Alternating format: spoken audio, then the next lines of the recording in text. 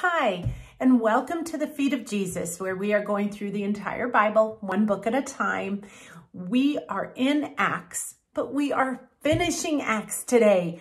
I feel like that is so cool, but it's also, oh my gosh, we've spent so much time in this amazing book. And if you consider that Luke is part one of Acts, and then Acts is part two, or the other way around if you want to do it, that Luke is part one of Luke and Acts is part two of Luke. I feel like this is a graduation. We are graduating for the time being from the New Testament, and I am excited to get to the Old Testament, but I love the things that I learned in studying for this week's lesson. And oh my goodness gracious, I think we're going to tie Acts together with this beautiful bow and oh, just keep listening. So just a teeny tiny bit of ministry business. Remember next week, it's just going to be a preparation video on how to study for the Old Testament. Yay! So Old Testament, this is the book. The um, link will be in the description of this video. And so you can go there, you can push the button and it'll take you directly to this workbook. This time, you really do want to get this workbook. We are going to study the book of Genesis and get into the Old Testament. The Old Testament, you study a little differently than you do the New. And we're going to study it in a systematic theology type of way. And so we're going to pull the book away from us a little bit, learn main themes and how to do it. So next weekend, tune in because it's going to be how to study this book. You still have time to get this before next Saturday's video. And I really, really recommend you do that. So let's get into today's study. Oops, one more bit of news. Guys, please like us and please subscribe. If you have friends that you know are looking for Bible study at this point, this is a great way to do it. I am doing the book of Luke, which we started with a long time ago in my house, two days a week for people who want in-house studies. And I've loved it. And these groups are getting into it and they're really diving deep into scripture. And some people for the first time, other people for um, the 18 millionth time in their life. But it's really been so rewarding. So I really recommend if you want to, get people into the house and you can order a couple of these books ahead of time. And anyway, it's a good idea. But if, not, if nothing else, subscribe to us and get on board. Okay, let's get into this amazing end to this amazing book. So this is the end of Acts. And this is the end of what we know of biblically about Luke's, I mean, the end of Paul's ministry. Through history, we know a few things after this, but I'm going to give you just a little bit of a rundown of what we've learned through Luke and Acts. Are you ready? Okay. First, Paul was seen in the synagogues in Jerusalem. And then we have that he oversaw the death of Stephen. We don't really know if he was in charge or if he was just overseeing or if he was just witnessing. The people laid their cloaks at, at Paul's feet. Saul was how he was known at that point. Then we have the Damascus Road experience and him seeing Jesus and communicating with him. And then he went to Damascus. He went and healed and had help. Then he went to Arabia for three years and kind of learned what he was doing. Then he went back to Damascus and got out by um, with help from a basket because people were chasing him to kill him. Then he went to Jerusalem and shook things out, shook things up over there. And then he headed for Tarsus. And then Barnabas took him to Antioch. And Antioch became a hub of Paul's ministry. So Barnabas really helped him get his feet wet and understand what he was doing. And then from Antioch, Paul went on three missionary uh, missions, and we learned all about them when we studied Acts here. And then he went back to Jerusalem, and from Jerusalem, he was arrested, and he went to Rome, and then he went to heaven. And so that is our overview of all of Paul's mission and life. But now let's just get into Acts 28. So in verse 7, it says that uh, Publius was the leading citizen of the island of Malta. What does that mean? It means that he was a Roman governor. He was in charge of that area. Now, some things that are kind of interesting he invites Paul and all the people from the ship, remember that's over 200 people, to stay with him in his palace, which must have been big, for three days. And he just listens to him and, and Paul, in the meantime, heals Publius's father by laying hands on him. One of the things that came out in this lesson is what does the laying on of hands do? One of many is I think it's an uh, it's a way of bringing truly symbolically as well as spiritually bringing God into the equation of healing. Because we know we do not heal we do not do any of that in our own strength. That is only because of the grace of God Jesus's blood and through the power of the Holy Spirit. So God heals. He only uses us sometimes as the conduit to that. Isn't that a beautiful thing that we get to be honored with? And so Paul lays, lays his hands on Publius's father, heals him, and all sorts of people at that point really want to learn about the ministry. Now, one of the things that is interesting is that Publius, there's many historians and philosophers that believe that a church sprung up on the island of Malta and Publius possibly was the pastor of that church. We do not know for sure. There isn't any documentation of that. There's just some hints at that what a fun thing that we can find out someday when we get to go to heaven. But I think that's just such a beautiful thing of Paul's ministry that Publius may have really truly taken on to Paul's message about God. So then he gets to Rome. Rome is so very important. And I think in just a minute, we'll start learning more and more and more about why it's important. But Rome was the center of the commercial world at that point. And so getting the gospel to Rome was big. It meant that we here in Albuquerque, you all in Dallas and in Houston and in all the reaches of the world, you have the ministry today where you are because God brought the word of God through Paul to Rome. I just love that. That's how important it was that the theme of Acts is getting the gospel from Jerusalem to Rome. And here we are in Rome. It's so cool. So in verse 20, let's look at that for just a second. It says that for this reason, therefore, I have called you to see you and to speak to you because this is Paul talking because for the hope of Israel, I am bound with this chain. So obviously you hear Paul mention chains quite a few times here. And we have to keep in mind that Paul here wrote Ephesians and Philippians and Colossians and Philemon here while he's in Rome. He was a very productive writer here. And he talks about chains a lot. So he must have actually been in chains. And who is the hope of Israel? You all know this. It's Jesus. So did you know that there are a lot of Jews today? So we get there and Paul is talking to a lot of Jewish people. And it says that some came to Christ and some didn't.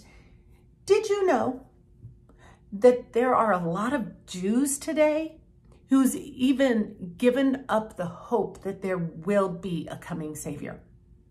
I don't know about you, but that's heartbreaking to me that Christ's people don't didn't really hear him. Now, there are over the centuries probably millions of Jews who have. And thank God, literally, thank God. But for those who didn't, that just breaks my heart. And for them to not even be expecting and hoping for a coming Savior is horribly awful.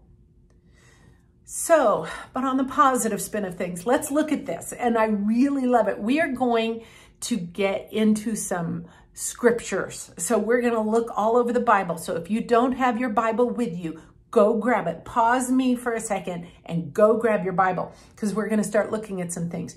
So did you know that the soldiers were chained to Paul six hours a day?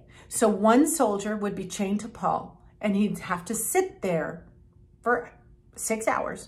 And then another soldier would come and be chained with Paul for the next time, the next six hours, next shift. And so I have a question.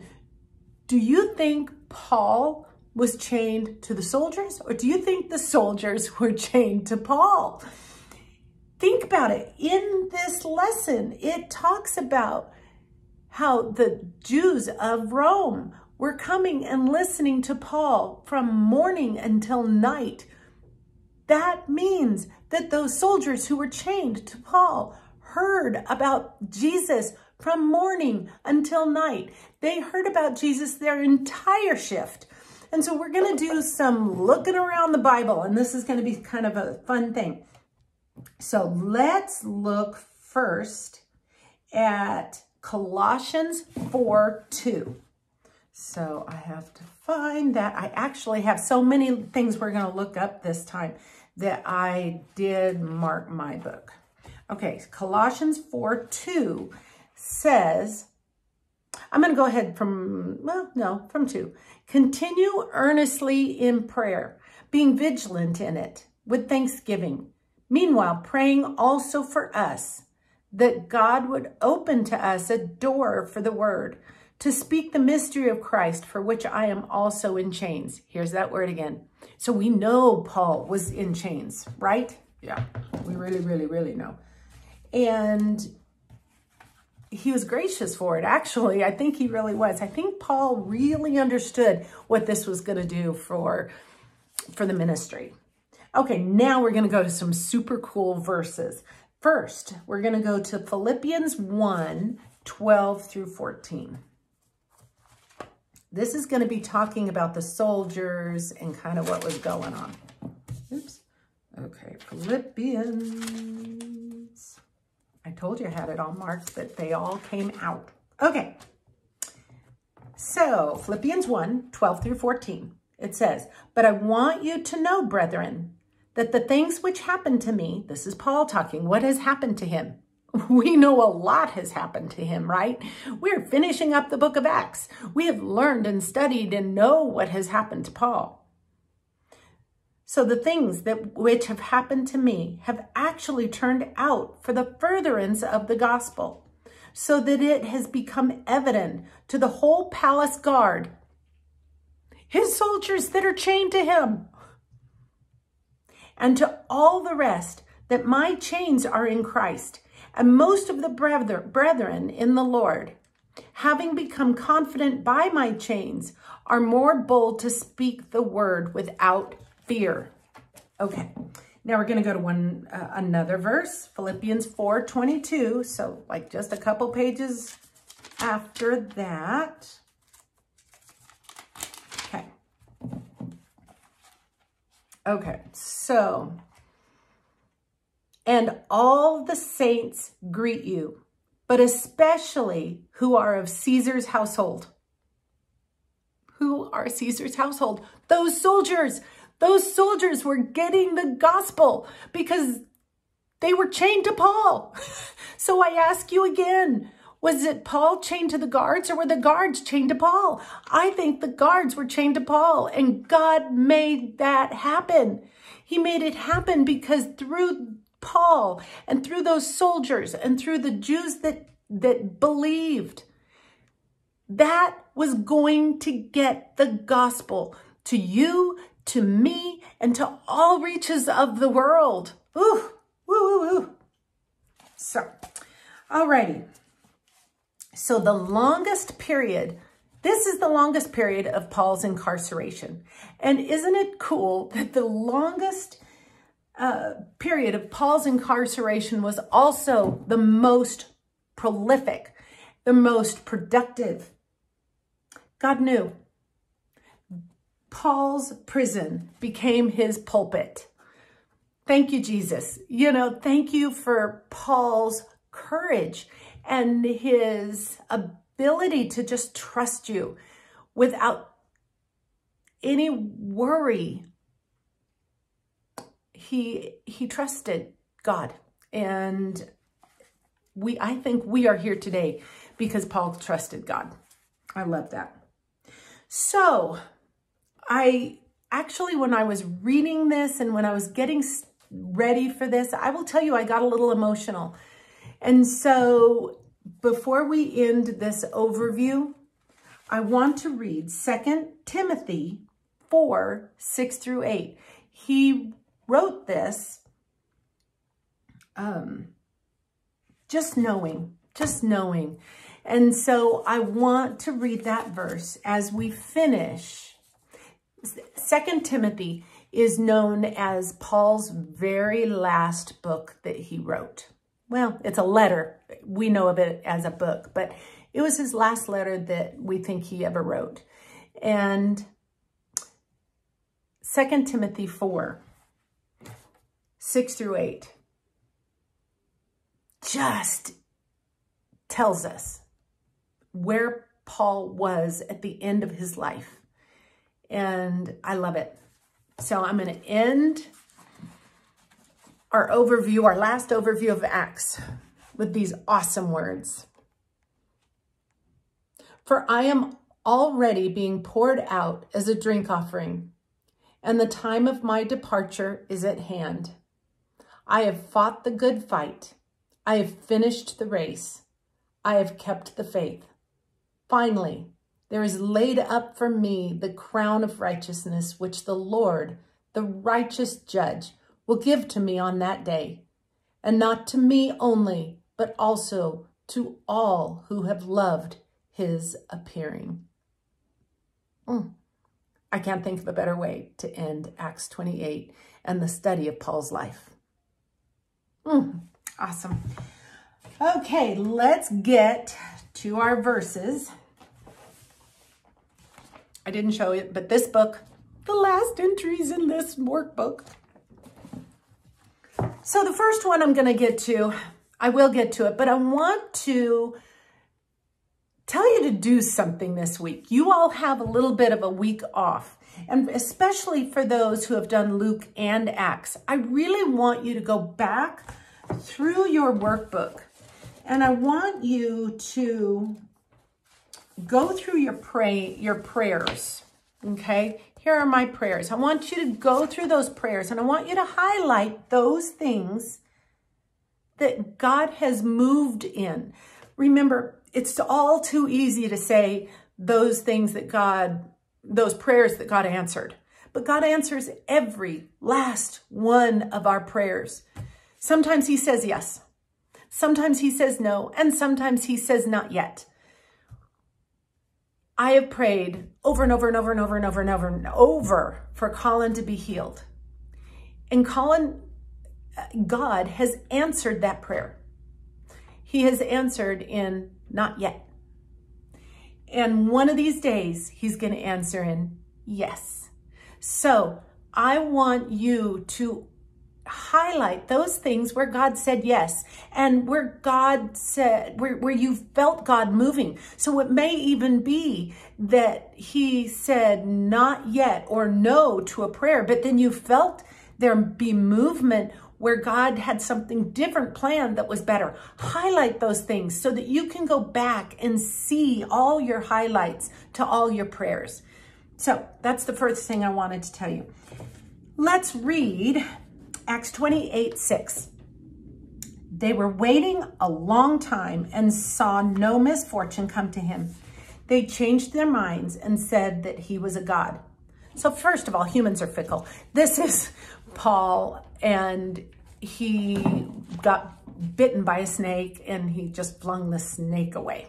And so people at first were saying, oh, see, he's a prisoner, he's evil. And so God's gonna, you know, he, he may have escaped death on that ship that sank, but death still has him coming. So they sat there and watched him and he didn't die. So then they thought he was a God. So people are fickle. But he would, this is one of, this is the verse I'm going to spend the most time on. And then we're going to gloss over, you know, just a couple others. But he was on mission from God. Is there any doubt that Paul was on mission from God? No, no doubt whatsoever. Paul was on mission from God. Paul was told twice that he was by God, that he was going to get to Rome. So we know Paul was on mission from God. So therefore, he could not die before he got to Rome because he was on mission. So what does that mean for us? That means that if we are going to die when God says it's time for us to die, we are going to go to heaven when our mission is finished. And boy, howdy, does that speak volumes to me. Because in this day of COVID, and I've said this over and over, so I'm sorry if I'm repeating myself, but God is either sovereign or he's not. God is in control of when I go to heaven. God is in control of when you go to heaven. He knows. He knows. So don't fear COVID. Do what you need to do, but don't fear it. Don't fear the things that we typically fear because God is sovereign. Okay. So, next verse. One of the things I mentioned to, for myself on my own writing for Acts 28, 6 was that Paul had confidence in God, but he also trusted God. And I know that those words very often are synonymous, but for my ears, it means a little different. Sometimes I can have confidence knowing that this is going to happen, knowing that God is either sovereign or is not. But sometimes I still worry about things. And I'm really working on myself and on my own heart to not only have confidence in the word, but to trust God in what he says. And so I don't know about you. Maybe that's the question of the day. Do you have confidence? Do you, first of all, do you believe that confidence and trust are the same word? Do they have the same meaning for you? Or are they a little different to you like they are to me? And if so, do you feel like you are like me and still working on confidence and trust in that whole thing? I'd love to hear your answers on that one. So the next one we are going to talk about is Acts 28, 15. And the brothers there, when they heard about us, came as far as the Forum of Appius and Three Taverns to meet us on seeing them, Paul thanked God and took courage. So what does that mean? If he took courage, that means Paul, means Paul, a guy that I think I and I think a lot of Christians hold in giant esteem as a human being, was discouraged. What does that mean for you and I? That means that it's okay for us to get discouraged from time to time. Don't don't beat yourself up for being discouraged. I get discouraged. I'm sure everybody does. Don't beat yourself up about it. But when we are discouraged, we need to look for the people and scenarios that God, through his providence, has put in our path to help encourage us, just like he put those people in Paul's life to encourage him. I have absolutely no doubt that God knew what was going on with Paul, and he put those people in Paul's path to encourage him. So the last thing we're going to do is very simple. I could not help but read the very last verses of Acts. So here we are. He lived, he lived there for two whole years at his own expense and welcomed all who came to him, proclaiming the kingdom of God and teaching about the Lord Jesus Christ with all boldness and without hindrance. You know, what I put here was simple. It doesn't really feel like the end. You look, you if you look at any of the other 13 letters that Paul wrote, they all kind of come to an end and you really, everything's kind of tied up and you know that it's the end. This doesn't sound very end-ish. Teaching about the Lord Jesus Christ with all boldness and without hindrance. It just seems like there's a dot, dot, dot, doesn't it? I think there's a reason for that. You know what? Super cool. I think perhaps, perhaps that that is on purpose. And we are still in the book of Acts. And you and I and all our brothers and sisters in Christ all around the world are still writing the book of Acts. Praise God. Awesome. You and I get to be a part of this amazing experience that our Father God has put together since the book of Genesis through everything that Paul experienced and we are still experiencing. I love it. So what do we put at the feet of Jesus today? Oh boy.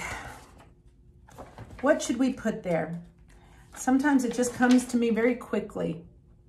I think let's put Second Timothy, that verse, let's put it again at the feet of Jesus.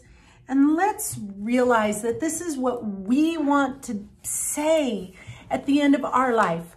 So, friends, I love you. I really do. And I'm so excited to start the book of Genesis with you and to get into the word in the Old Testament and learn how to study the Old Testament in a different way than we've studied the New. I'm so excited.